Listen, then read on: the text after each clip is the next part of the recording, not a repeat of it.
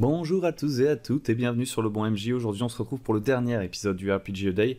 Normalement bah, il y a plus de 7 mots pour aujourd'hui et j'aurais dû refaire la semaine prochaine parce qu'on aurait été encore en août mais je vais tout mettre dans euh, la même vidéo parce que voilà le concept, euh, je vais pas refaire une vidéo pour trois trucs. Donc je vous rappelle le concept, c'est tout simplement tous les jours normalement, moi je le fais toutes les semaines pour pas faire 40 000 vidéos différentes, je regroupe les trucs. Tous les jours, il y a euh, un mot qui euh, voilà, vous inspire peut-être quelque chose en rapport avec le jeu de rôle. Vous pouvez participer sur le Discord, dans les commentaires, sur votre chaîne YouTube si vous en avez une.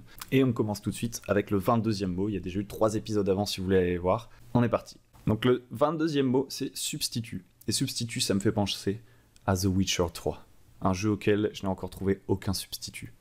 C'est vraiment le jeu vidéo pour moi. Pendant un long moment, je jouais plus à des jeux solo et tout, parce que voilà, je jouais à des jeux freemium euh, euh, qui prennent plein de temps, euh, vous connaissez sûrement. Et The Witcher 3, donc le jeu vidéo. Quand j'ai commencé à y jouer, je n'ai pas su m'arrêter, j'ai fait tous les DLC, je l'ai fini. Enfin non, j'ai sûrement pas tout fait en vrai. Je suis peut-être passé à côté de quelques trucs, il y a quelques quêtes que j'ai dû échouer. Mais vraiment, pour moi, c'est un des meilleurs jeux vidéo auxquels j'ai jamais joué. Il y a plein de dialogues et de cinématiques super stylés. L'histoire est trop cool, il y a plein de fins différentes, je les ai un peu toutes testées, en tout cas du, de l'opus principal. Quasiment toutes les quêtes sont super bien écrites et réussies. Le, jeu est magnifique. Le, game feel, enfin la, liberté de mouvement, la manière dont vous vous déplacez à cheval, à pied et tout est super agréable. Les combats sont un peu répétitifs, mais moi ça me dérange pas. Parce que je joue vraiment pour m'immerger, jouais vraiment pour m'immerger en l'occurrence. Après certaines quêtes, je me suis pris.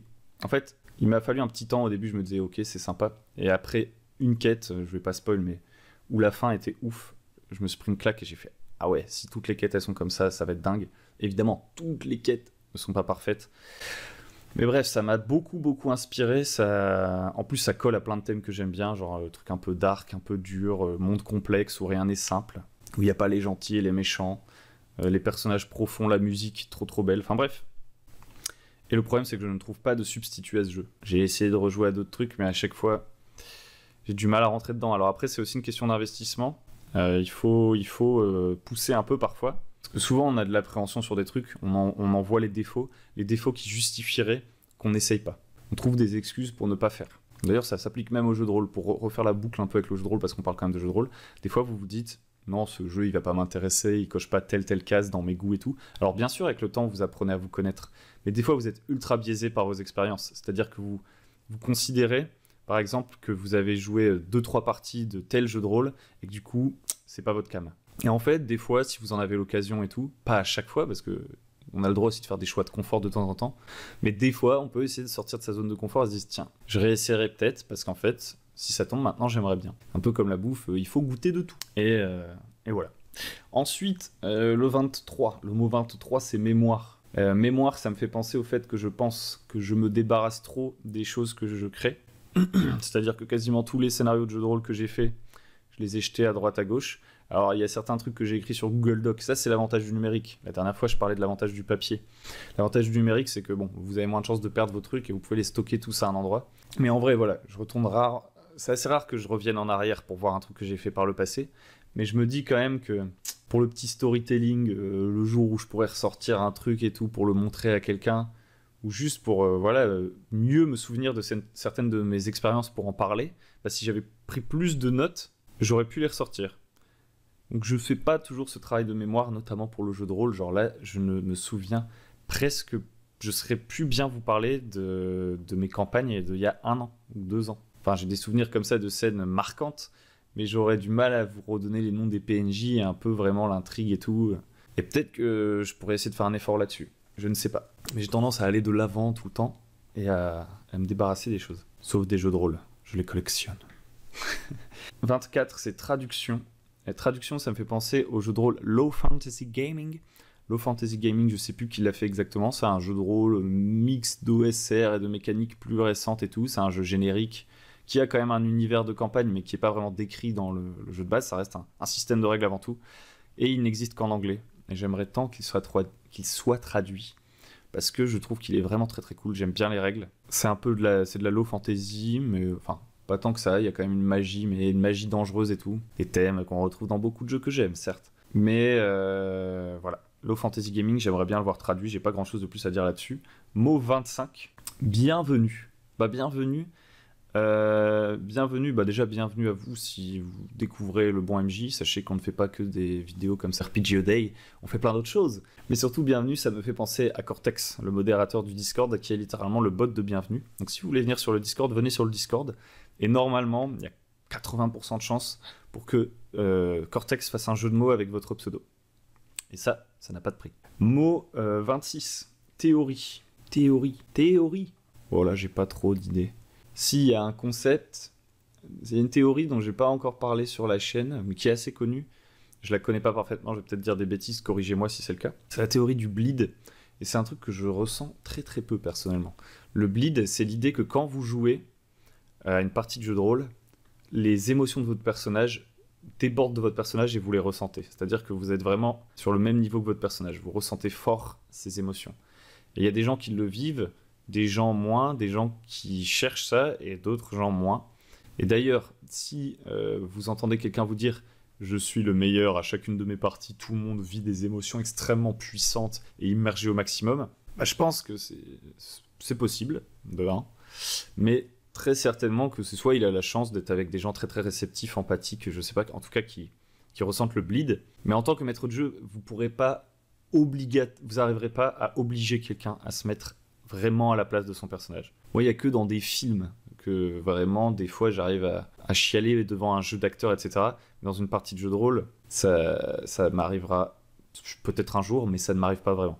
Ça veut pas dire que je suis pas immergé dans l'histoire et que je prends pas de plaisir au jeu, mais en fait, moi, c'est plus dans la mise en scène que je kiffe. C'est d'ailleurs pour ça que je préfère être maître du jeu la plupart du temps. En fait, quand je suis euh, dans une partie de jeu de rôle, entre potes en tout cas, bah, ce qui m'intéresse le plus, c'est cette mise en scène. Donc même mon personnage, essayer d'imaginer la scène et de lui faire faire des trucs et tout. En gros, mon personnage, le vois plus comme un, pantin que moi, je ne, je ne, me ressens pas comme étant ce personnage. Et c'est valide et c'est très très cool. Euh, ensuite, 27, il y a Fraction. Fraction, ça, ça me fait penser à Anima Beyond Fantasy. Euh, c'est un jeu qui me faisait trop rêver quand j'étais euh, au lycée. Alors au lycée, je jouais plus beaucoup aux jeux de rôle, je pense que je vous l'ai déjà expliqué. Je jouais plus beaucoup aux jeux de rôle, mais de temps en temps, quand je voyais mes cousins en vacances, je faisais du jeu de rôle et on, essayait de jouer à Anima Beyond Fantasy. En fait, c'est un jeu qui m'a toujours fait rêver parce qu'il a son univers. On va parler de son univers en premier. C'est un fourre-tout phénoménal. Si vous prenez les, les bouquins de l'univers, il y a c'est n'importe quoi. Genre, il y a du, de la SF, du fantastique, des parcs d'attractions, des sociétés secrètes, des dieux méca. Enfin, c'est n'importe quoi. C'est un gros bordel. Tout ça lié par une sorte de métaplot un peu tiré par les cheveux, mais je trouvais. Moi, ça me fascinait à l'époque. Là, ça fait longtemps que j'ai pas lu, donc je serais pas trop capable de poser un jugement là-dessus. Mais euh, graphiquement et tout, il y avait un truc. Enfin, c'était genre épique. Euh, caractère. C'était un jeu pour faire du, du character design parce que l'univers permettait tout. Donc vous pouvez faire n'importe quel personnage trop stylé que vous aviez envie. Et euh, les règles permettaient aussi de faire euh, tout. Alors, ce qui est amusant, c'est qu'il y a un peu un, truc contre-intuitif, c'est qu'en général, un univers avec beaucoup de règles, techniquement, permet pas forcément de faire plus de choses qu'un univers avec zéro règle. Si je vous dis on fait un jeu de rôle sans règles et que je vous dis là maintenant créer un personnage, vous pouvez me dire n'importe quoi. Donc en fait, vous n'avez pas besoin des règles pour créer le personnage. Là, ce qu'il faut comprendre dans Anima, c'est que vous pouviez vraiment créer des personnages mais hyper variés parce qu'il y avait un monstre de règles et de mécaniques pour le faire. Genre il y avait des règles pour faire des pouvoirs du ki, des règles pour faire des pouvoirs mentaux, des règles pour pouvoir faire de la magie, des règles pour avoir des pouvoirs intrinsèques de la gnose, je me souviens même plus des termes. Tellement il y avait d'options de création de personnages et ça faisait un système qui était quand même, de mon point de vue, je pense qu'il y aura, y aura des gens qui diront mais non, si tu joues plusieurs parties d'affilée, tu comprends. Ce qui est vrai, je, je suis d'accord. Les règles, c'était nimp. Et c'est pour ça que ça me fait penser à fraction, parce que fraction, ça me fait penser à mathématiques, et ça me fait penser au tableau de Anima où on prenait un peu la calculatrice pour calculer des trucs. Enfin, c'était voilà, c'était très rigolo. C'était un jeu très chiffré. Ça reste des bons souvenirs, mais je pense pas que j'y rejouerai. Et d'ailleurs, les bons souvenirs, plutôt des souvenirs de création de personnages que de jeux, parce qu'à l'époque, on se voyait pas assez longtemps avec mes cousins et on mettait tellement de temps à créer les personnages qu'on jouait genre à peine et voilà c'était fin de la partie de Anima Beyond Fantasy mais allez voir peut-être ça pourra vous intéresser ensuite euh, mot 28 c'est solo et solo ça me fait penser au fait que j'ai arrêté de faire le jeu de rôle solo euh, La Terre des Bannis je sais c'est mal j'aurais dû au moins le terminer c'est pas, pas ouf d'arrêter en cours. J'aurais dû essayer de faire une fin et tout. en même temps, c'est émergent. Donc, euh, choisir à quel moment c'est la fin, ce n'est plus vraiment euh, jouer le jeu, peut-être. Je ne sais pas. J'ai vraiment kiffé faire du jeu de rôle solo sur Iron Sword. J'en ai fait quand même pas mal, quoi. Je suis pas le plus grand joueur de jeu solo. Il y a des gens qui jouent non-stop, mais je me suis quand même vraiment plongé dans le truc. J'ai pas juste testé à l'arrache pour vous en parler. J'ai vraiment fait pas mal de parties. Genre, ça a dû me prendre j'ai dû passer une quinzaine de soirées à faire du jeu de rôle solo. J'ai vraiment aimé ça, mais là j'ai arrêté parce que voilà, j'ai fait le tour de l'expérience pour le moment. J'en referai sûrement à l'avenir, quasiment sûr parce que j'ai bien aimé. Mais en ce moment, c'est vraiment pas ça qui m'attire. Et, euh, et, voilà, je tiens à m'excuser peut-être s'il y a des gens qui avaient vraiment envie de voir la suite. J'ai envie de leur dire jouez cette suite, essayez le jeu de rôle solo. Voilà, faites, faites les choses. Ne vivez pas par procuration. non, et puis surtout, dans le, dans le truc Iron Sword, l'erreur que j'ai faite, je pense, c'est que j'ai voulu faire les illustrations, la musique, le montage, c'était ultra cut. J'ai rajouté à chaque fois des couches de travail sur les épisodes qui devenaient, euh, qui devenaient trop, en fait. Euh, parce que du coup, l'équilibre entre euh, le plaisir de jouer et le fait de me dire que j'avais tout staff derrière pour le montrer, ça devenait un peu déséquilibré. J'avais mis la barre très très haut dès le début. Du coup, j'étais très exigeant avec moi-même. Enfin, après, quand je dis ça, c'est par rapport à, moi. Hein. Si ça tombe, vous trouvez ça nul, je suis pas là pour vous dire que c'était ouf, que la barre était juste au-dessus de tout ce qui se fait, pas du tout. Mais pour moi, ça faisait beaucoup de choses à faire. Bref, j'ai arrêté, mais c'était vraiment cool. Et je suis assez content de, ce que ça a donné, pour le coup. Si vous voulez aller voir, vous pouvez. 39. Système. Euh, système. Ah si, je pourrais vous parler du PBTA.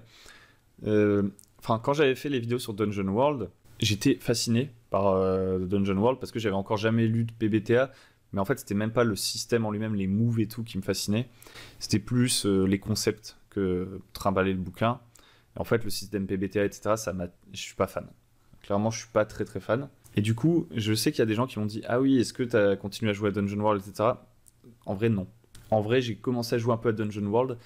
J'ai pas accroché. J'ai arrêté avec mes joueurs, là je parle. Ensuite, j'ai fait une partie en tant que joueur dans un Dungeon World. J'ai pas accroché non plus. J'ai joué à d'autres PBTA où j'ai un peu plus accroché. Mais voilà, c'est quand même pas ma tasse de thé. Ça veut pas dire que c'est nul. Hein. Il y a plein plein de gens qui y jouent. C'est juste que ça correspond pas trop à mes attentes. Et voilà. Là, les, derniers mots, c'était un peu genre des trucs de regret, là. un peu en mode. Euh, les erreurs du passé, j'ai envie de dire.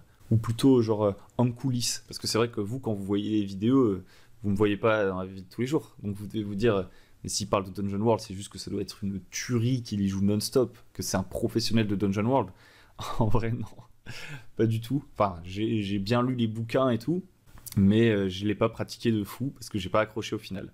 Quand je vous en ai parlé, c'était plus l'excitation de la découverte et le fait de vouloir vous faire découvrir le truc. Euh, le 30. Le 30, c'est mention. Oh là là, les derniers mots, ils sont trop durs.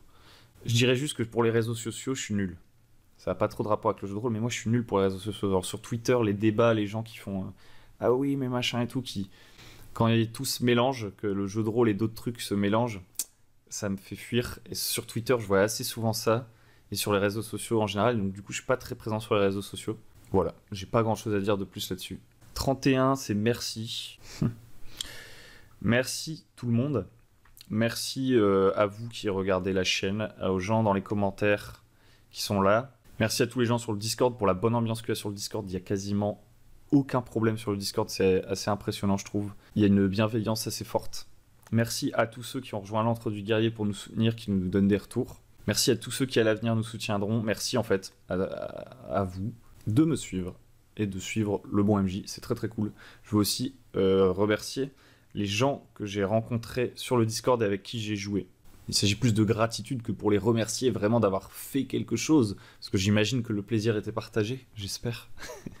Mais vraiment, j'ai rencontré plein de gens sur le Discord euh, et des gens très très cool que j'espère peut-être voir euh, en vrai un jour. Ce serait sympathique pour jouer avec eux en présentiel. Et puis voilà, merci à tous les gens qui sont passionnés de jeux de rôle et à ceux qui en parlent autour d'eux. On a terminé avec tous ces petits mots. hop, c'est terminé pour le RPG a Day. J'espère que ça vous a plu. N'hésitez pas, voilà si euh, vous n'avez pas vu les épisodes précédents, allez voir les épisodes précédents, à vous prêter à cet exercice parce que mine de rien, c'est un vrai exercice créatif et qui permet de faire un peu d'introspection, de se poser des questions par rapport à des mots. Moi, je, trouve ça très cool, c'est pour ça que je continue à le faire, même si c'est pas forcément le format que les gens adorent. En plus, pour moi, bah, ça me permet de faire quelque chose d'un peu différent que ce que je fais toutes les semaines. Donc c'est cool. J'espère que ça vous a plu. N'hésitez pas à liker, à vous abonner, à venir sur le Discord, à me dire en commentaire ce que vous avez pensé de ces mots, à me dire en commentaire ce que vous voudriez voir dans la nouvelle saison, le bon MJ, euh, entre guillemets, puisqu'on on arrive à la rentrée, etc. Qu'est-ce que vous voulez voir sur la chaîne? Et euh, je vous dis à très bientôt sur le bon MJ. Merci encore à tous.